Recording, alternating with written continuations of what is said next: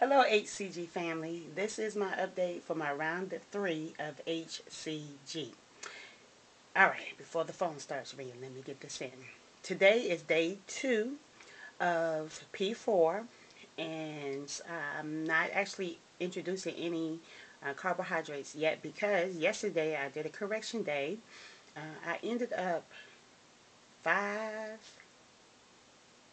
six pounds above my LDW. I ended up six pounds above my LDW with Friday with the mysterious four pounds coming on. And then I went to the women's retreat and um, it was fabulous. It really was very renewing for my soul. And then I came back home and I actually had lost a pound so my body was starting to go down. And I decided, of course, to go ahead and do a correction day yesterday, which was a steak day. That's my go-to correction day. It's easy for me I thought about doing the egg day. Um, I've even contemplated the fat fast. but anyway, so this morning I woke up um, and I'm just two pounds now above my LDW. And so I'm eating P3 clean today. And tonight I start my, um, I do my fitness test for the Jenny McCarthy workout program. That's on Wii. That kills me. Mm-hmm, mm-hmm, mm-hmm. Kills me so good. So I'm actually I'm excited to start that program and start exercising again. And so other than that, all is well. I go in for my testing for my thyroid. It's a two-day test. I go on Monday.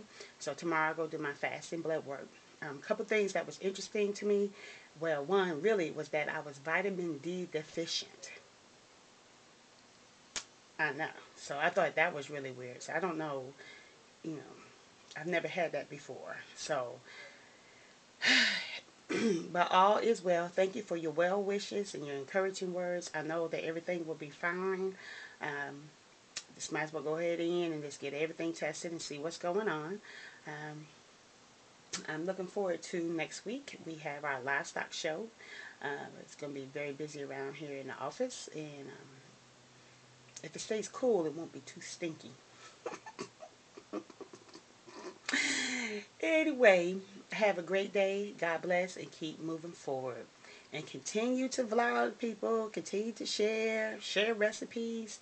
I Miss HCG girl. She's um, looking all cute. Did her little vid on that quiche. Mm, mm, mm, mm. I cannot wait to get into that right there. I'm going to make that. But until next time, God bless again and keep moving forward.